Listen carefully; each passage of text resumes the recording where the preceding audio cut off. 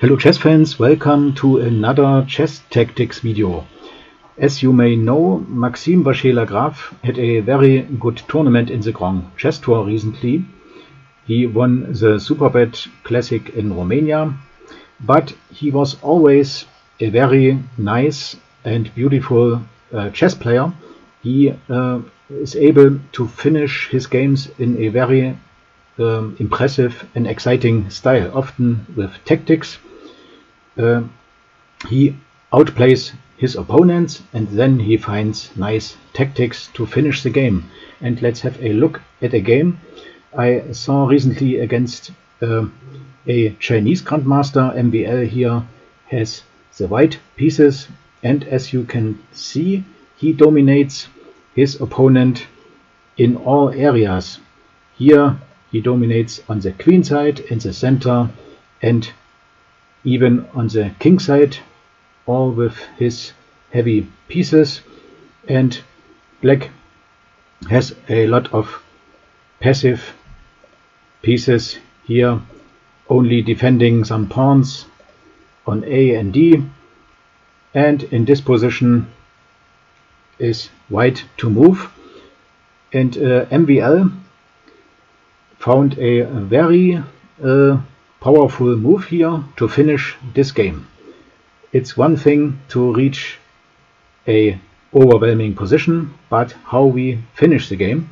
And here we can learn from Maxime Vachier-Lagrave and if you want you can pause now the video and try to find this move and I'm back in some seconds. Good luck.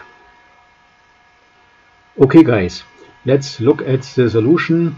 Um, I must admit, when I uh, first saw the game, I thought this move is the winning move, c5.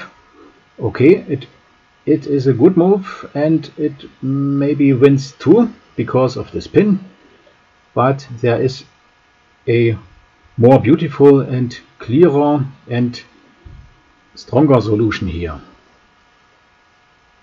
And maybe you found the winning move by MVL too. And this is the strong rook sacrifice here. Rook takes pawn on a5. A little bit surprising, but if you are good in tactics, you can see it.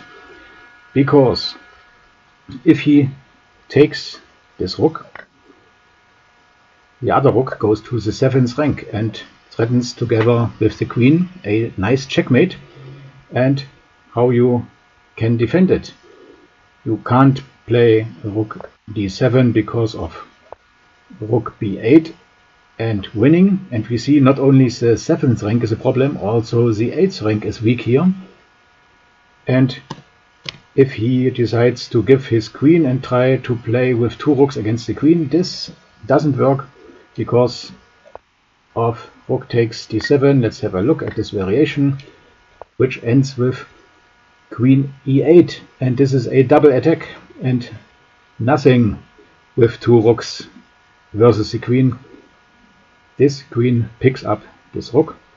Okay, after rook takes a5, what can black do? Let's look.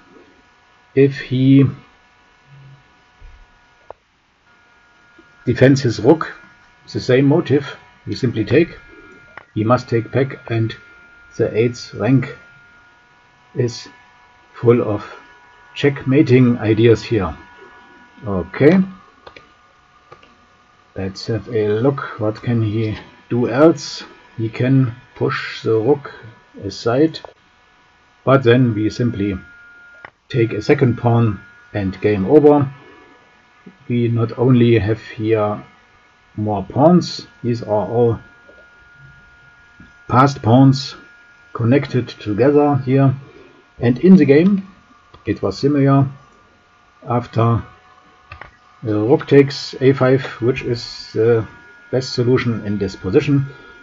The Chinese opponent played queen e7 but then again takes takes and white MVL takes the second pawn and here again the seventh rank is vulnerable.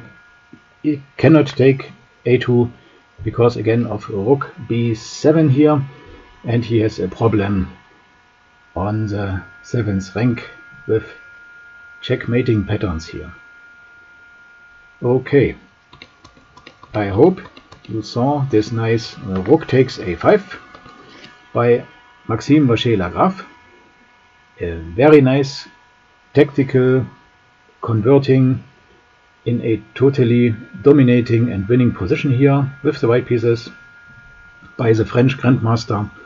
And I hope you liked this little tactics and variations. And if you want we see us again in one of my next videos. Until then bye bye